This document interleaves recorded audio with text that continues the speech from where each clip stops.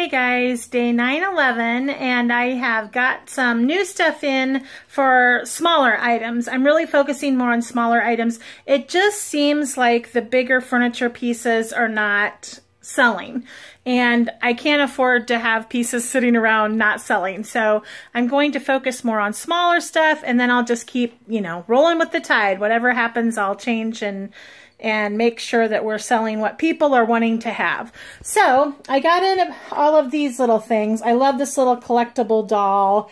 Um, just some cute uh, angel stuff, the little cute puppy back there, some garden statues.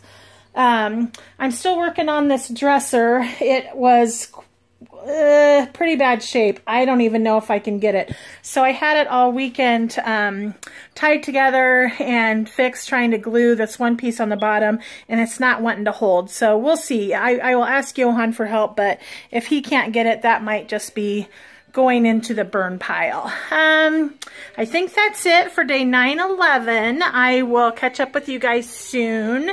Uh, bye.